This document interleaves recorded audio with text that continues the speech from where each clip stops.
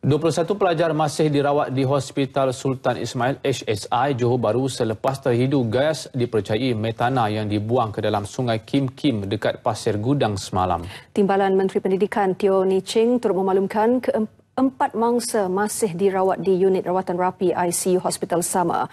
Bagaimanapun, keadaan mereka dilaporkan stabil dan dalam pemantauan pihak hospital.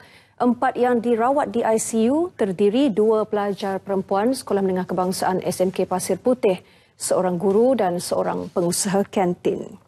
19 pelajar lagi stabil dan akan dibenarkan pulang sekiranya keadaan bertambah baik. Turut dirawat 18 orang awam berusia antara 5 hingga 44 tahun follow up dengan Jabatan Alam Sekitar.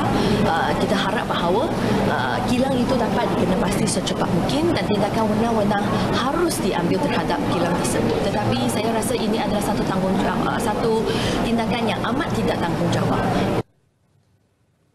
Beliau berkata demikian selepas melawat mangsa yang terjejas akibat terhidu gas sisa bahan buangan kimia itu di HSI Johor Bahru.